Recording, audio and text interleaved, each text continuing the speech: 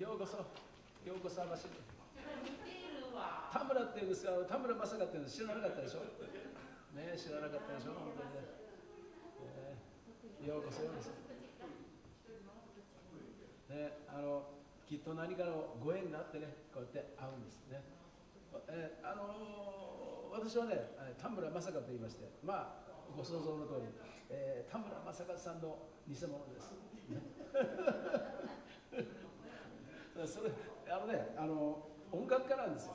ででもねやっぱりそっくりさんをこうやって「うん田村です」ってやってたらね、えー、テレビが誘ってくれてちょろっと出てたんですね、まあ、これからだっていう時にコロナが来ちゃってねあの私も一応全国にあの歩いてたんですよだけどもうそういう仕事が一切なくなっちゃってねもう悔しいったらあれはしないところがですね考え方ですよ。私網走で暮らしてました。ねあの家からうちからあの車で7分21秒でこのホテルで近いんです。ね。だからここでロビーコンサートやる分には何の無理もない、ね、お客様の数はまあ減ったけども、まあ、確実に会える。じゃあそのね一人でもいいからお客様に会ったら田村まさか覚えていただきゃいい、ね、それで今ほらあるじゃないですか。あの YouTube ってのがありますでしょ。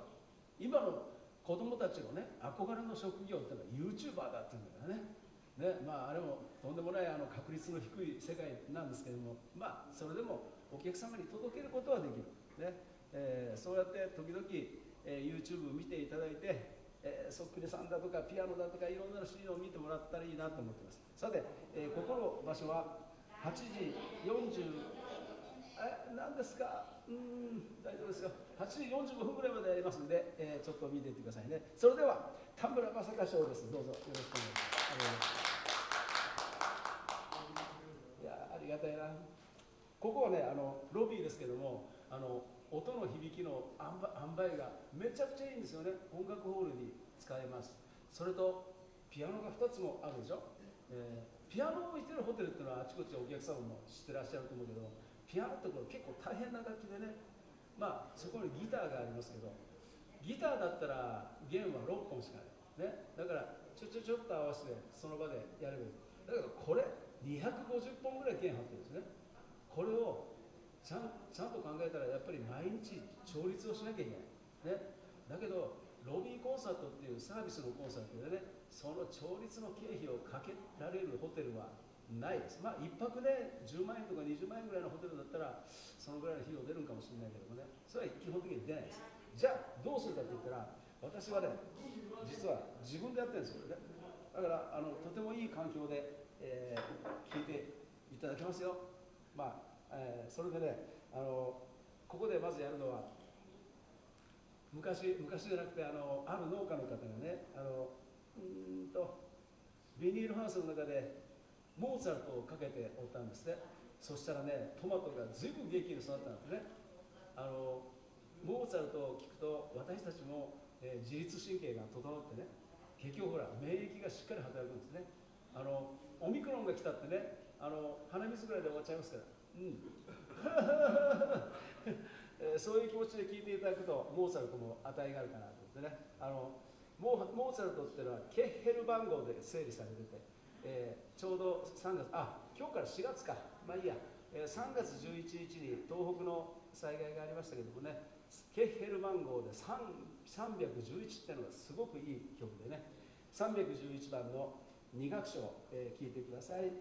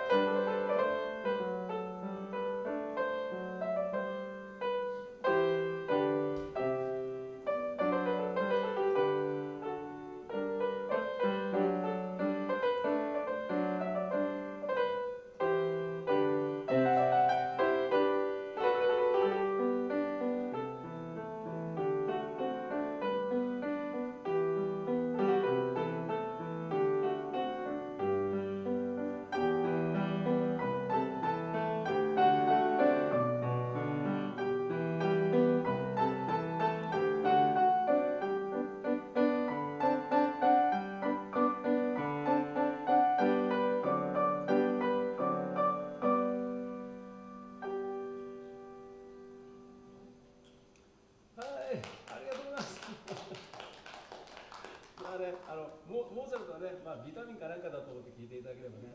これでねもう皆様結構もうワクチン3回目打たれたと思うんですけど、まあ、これ4回目ぐらいの値がありますからね。そう思っていてください、えー、さて、えー、モーツァルトだけじゃないんですよね。やっぱり聞き聞き覚えある、えー、心当たりのある曲なんかを聴いたりするとねふわっとってあの、ね、気持ちが穏やかになりますよね、えー、グランドピアノあと1曲にしてちょっと違うシーンも見ていただきたいなと思ってるんですよ、えーと、ピアノの曲で一番使われてて親しまれてる曲はこれじゃないかなっていうことでショパンのノクターン9の2をお送りいたします。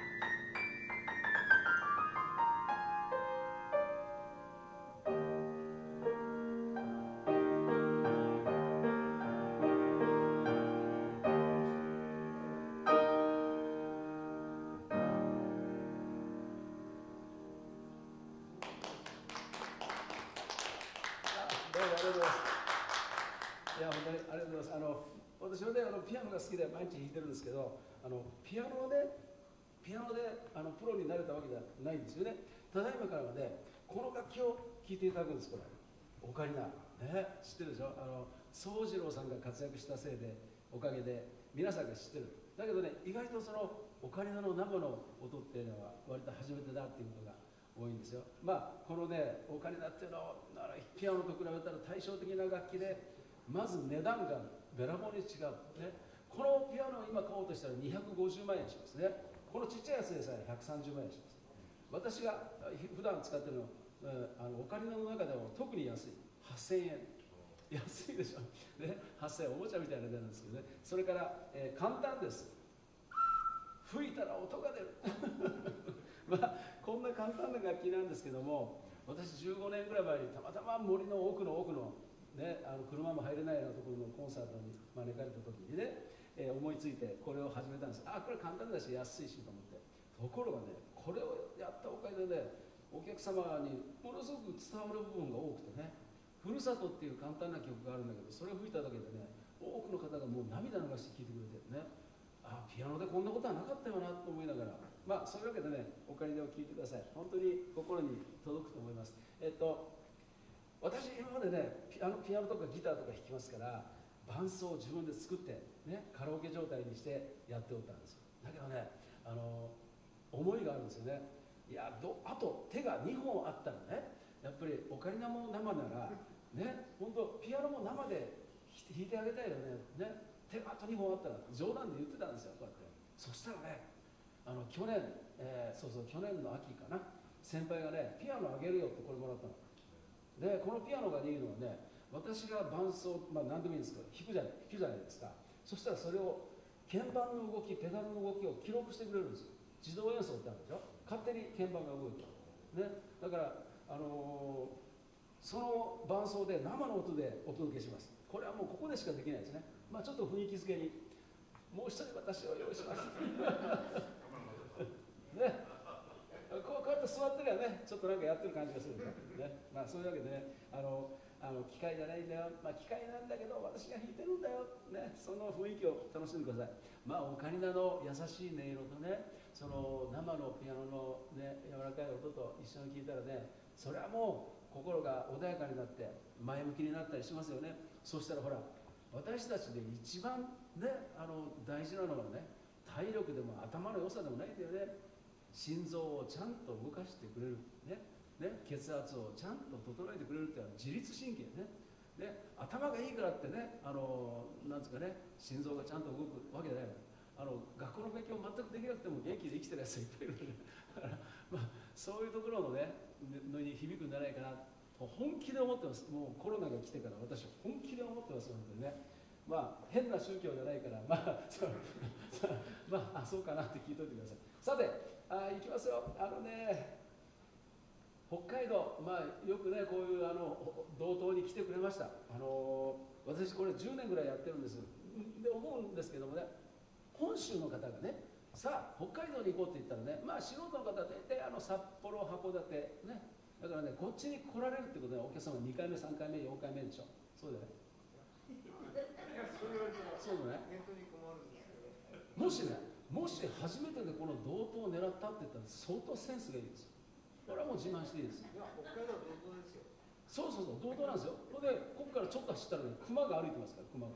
ヒグマが本当ですよ。本当本当。これ嘘じゃないですよ。ね。ね。あのヒグマ相手にしたら怖いですからねあれ。あれダメですよあれね。相手にしちゃ餌なんかやっちゃダメですよ、ね、ささて、えー、まずねあの道東のあの、まあ、象徴的な、えー、歌って言ったらまあまあこれはもう当然これですよね。知床旅情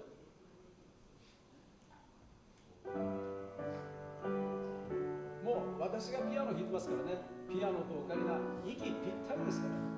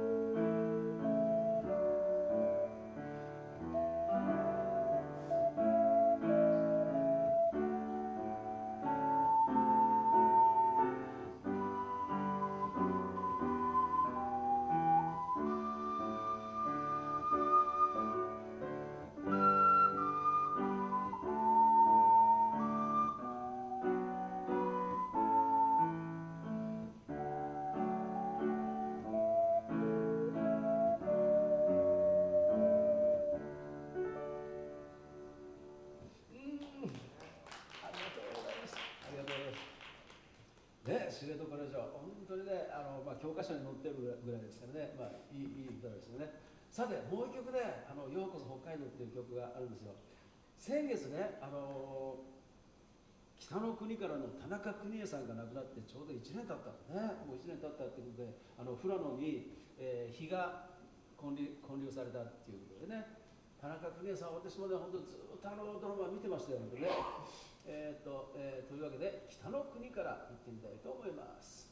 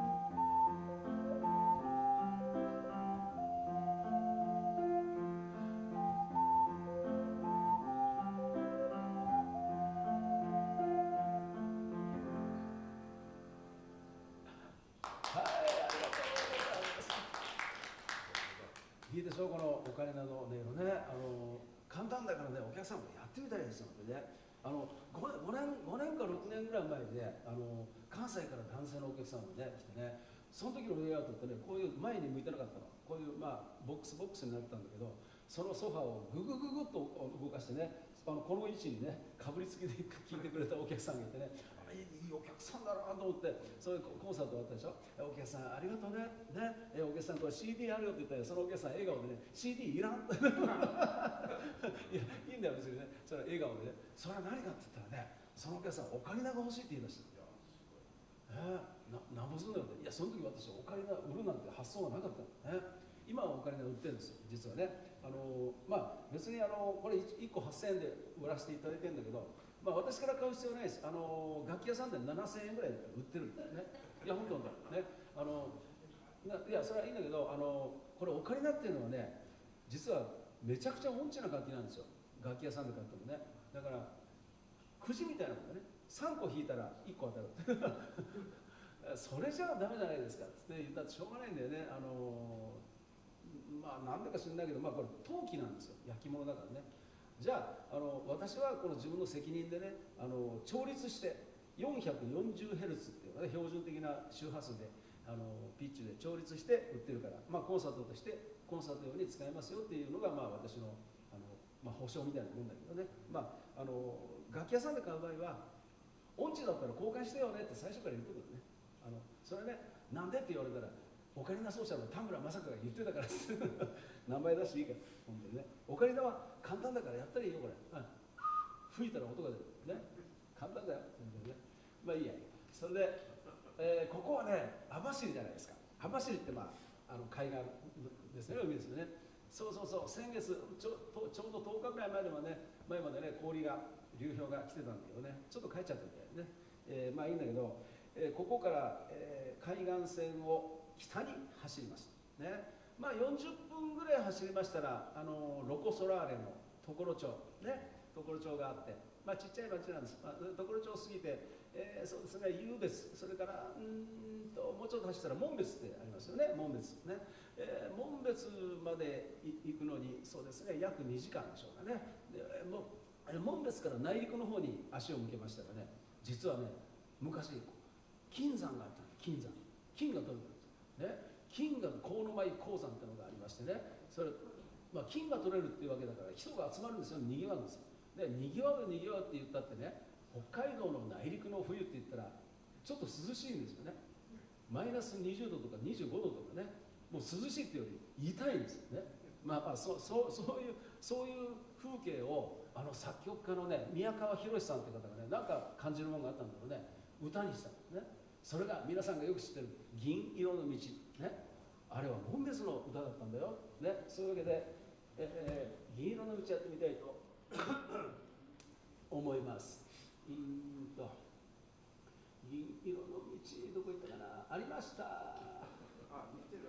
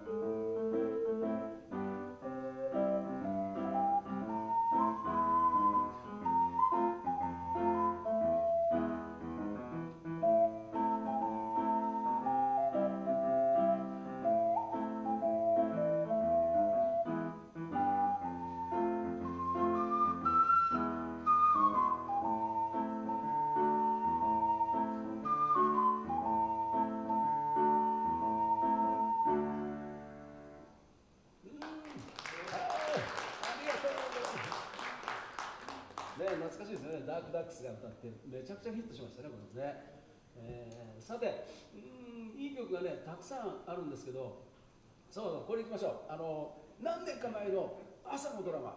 ね。あいいですね。あのあれ何年か前ですね。そうそう話がまた戻ったんですけどこれ見てね。あの衣装に持ってきたお客さんで。まあねすごかったですよ。あのあれ10時ぐらいまでやったんだけどな。いや演奏も途中でやめてね、えー、なんかもう一緒になんか絡んでやってましたけどね。まあありがたいですよ。本当にね。あの大事なのはねここで田村まさかを覚えて帰っていただくね覚えやすいでしょ？図がないだけだから。ね。田村まさかね。そしたらね帰ったらねお友達見つけてね。あねお友達でしょ？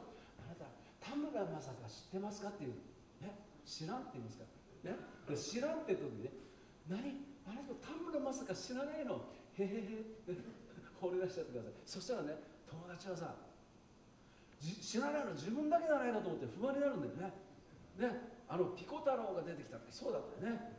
ピコ太郎。え何それ。ね。あまあ今出世しちゃってね。あの坂田大魔王になっちゃってますけどね。まああの、えー、田村正香を覚えていただいて友達に言う。そしたら友達がね田村正香って何だろうなってインターネット検索するでしょ。インターネット検索してみてください。こんなことがあります。田村正和。ね。そしたらねまず田村正和。田村正和で 3, 3個目か4個目ぐらいに田村正和って ありがたいですねもう外に出てくるんですよ。それであの田村正和の方ピュッと入っていくとあの例の YouTube が広がるよってね。そうやって応援してもう時々でいいから。ね。もうしばらく忘れててもいいから。でも4年に1回ぐらい思い出して。ね。オリンピックが来たらなんか田村が言ってたら。ああいいお客さんです。ありがとうございます。ね。えー、っとそうそうそう、えー、話がちょっと忘れちゃったあのつえー、っとねああの何年か前に朝のドラマで取り上げられた作曲家小関裕二さん。ね。私ちょっと年代が違うからお名前知らなかったんですよ。えー、そうなんだ。ところがね作品聞いたらみんな聞いたことがあるね。その中で一番のお気に入りです、えー、高原列車は行く、ね、これピアノ伴奏も非常に素敵だよ。聞いてみてくださいね。えーとどこ行ったかな？高原列車。高原列車。ありました。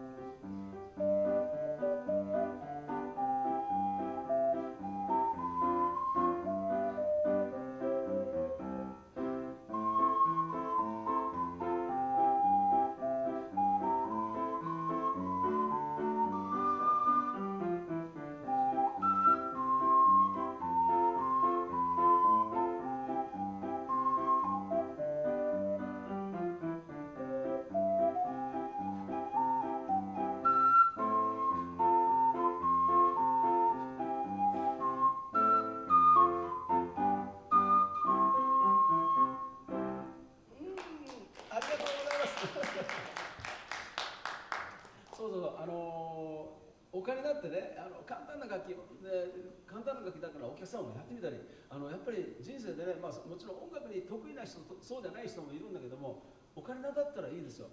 ピアノはねやっぱり50年とか100年とか練習しなきゃいけない楽器なんだけどこれはね1日2日頑張ったらふるさとぐらい吹ける。だね私本当これやってよかったなと思うのは一番最初にねふるさとだとかカトンボだとかそういうね童謡っていうかね唱歌をあのー、あのまあきながらねあの老人ホームに行ったわけです行ったっていうか頼まれて、ね、行ったんだけどね。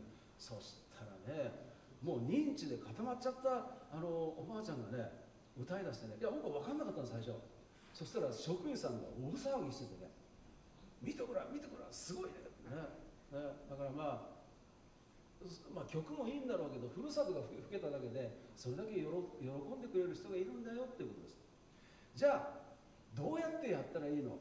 いやここでねあのもう絶対これあのいい経験になると思います。あの1分で分かるオカリナ講座やります。本当だよ。あの音楽なんか全然知らなくていいからね1分で分かるオカリナ講座。ね。はい行きます。親指両方の親指は裏の穴です。いいですか？で残った4本の指をこうやってやります。あの縦笛と同じような持ち方なんだけども斜めだ。ね、まあ、そういうことですね、えー、縦笛ともう一つ違うところは全ての指に穴があるんですね。さあこの押さえ方が分かったらもう実は8割方できたんです。ね。もうあと何も覚えなくていいです。遠いところから順番に指を離してみると様子が分かる。ね。もう覚える必要ない。ね順番だもん。ドレミファソラシド。ねね。まあそういうわけでね簡単だからやってみたりあのシャープもフラットもできるし実はこれドレミファソラシドの上も下もあるんだよこ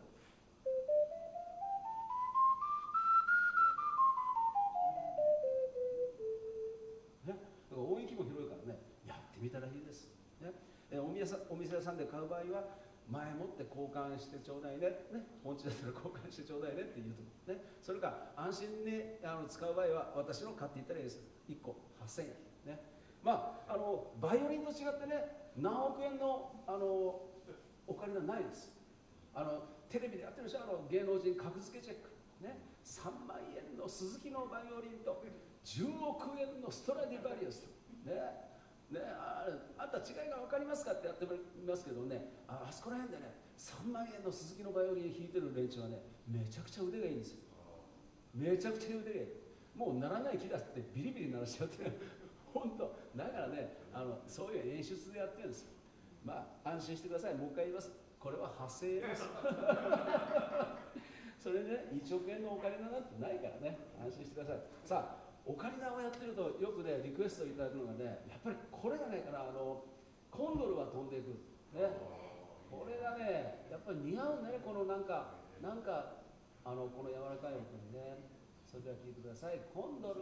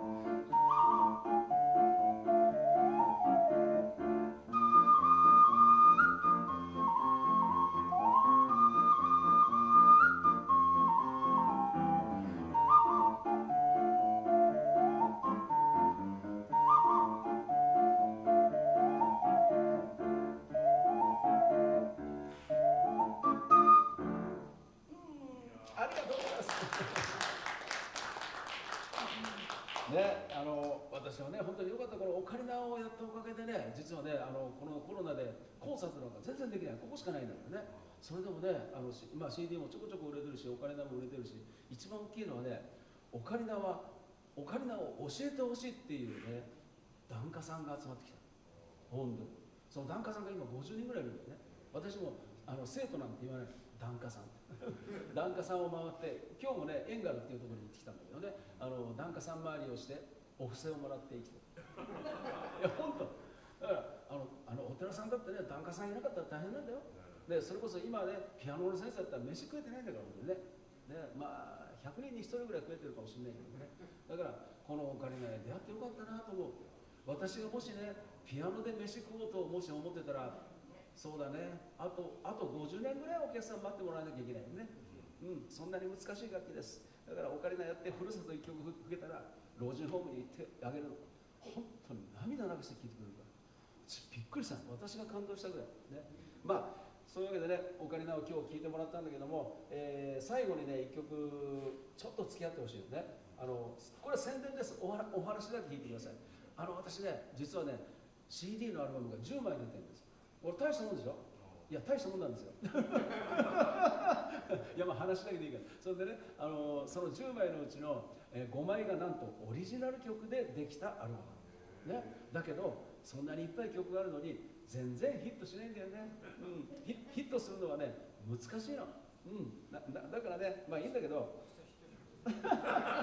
あお客様が覚えてくれたらヒットするかもしれない えでもそんなもんだからね。本当そんなもんだから。まあいいんです。よかったらいい。悪かったらあ忘れてくれたらいい。あの最後にねあの私の一番最初のあのアルバムのオリジナル曲をちょっと付き合ってください。それで、えー、田村正香を覚えて帰ってください、うん、ちょっとまだ季節は関係ないんだけど夏の終わりのセレナーデっていうねオリジナル聴いてくださいね、えー、今日は本当に来てくれてありがとう。ねオリジナルです。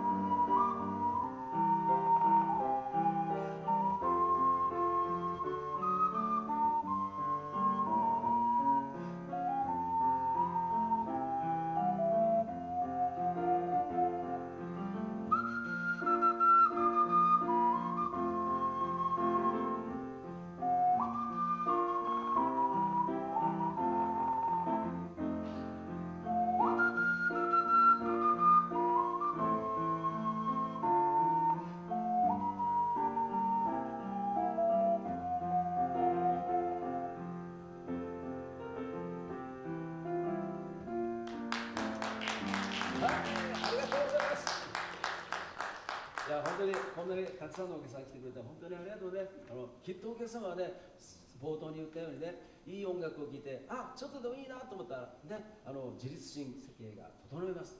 そしたら心臓もちゃんと動いてくれる。ね。あのあれ頭がいいからね心臓がちゃんと動くんじゃないんだよ。ね。ちゃんと自律神経が整ってるから。そしたらですね免疫が強くなる。ね。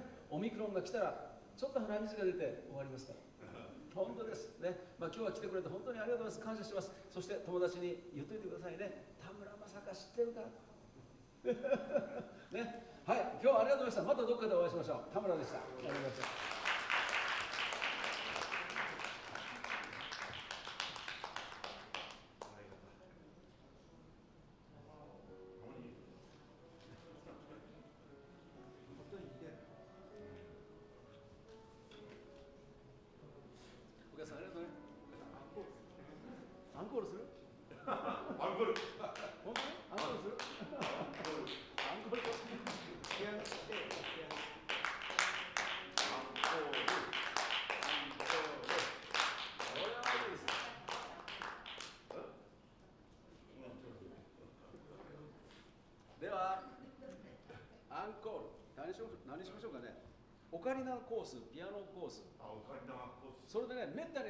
歌コースあ歌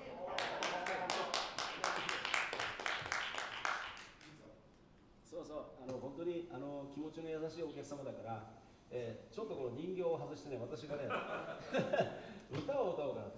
めったにやらないですよ。4年に1回ぐらいしかやらないです。け どよし大サービス、えーおお時間大丈夫？あと5時間。嘘です、えージョン・レノンの「イマジン」。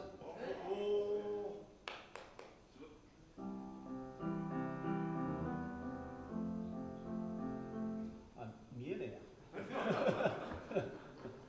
あのねお知ってます？大人になったらね目が見えないんですよ。知ってます？まあみんな大人だから知ってる。そんなもんだよね、うん、許してやってください。ああ。あ間違えたでしょ。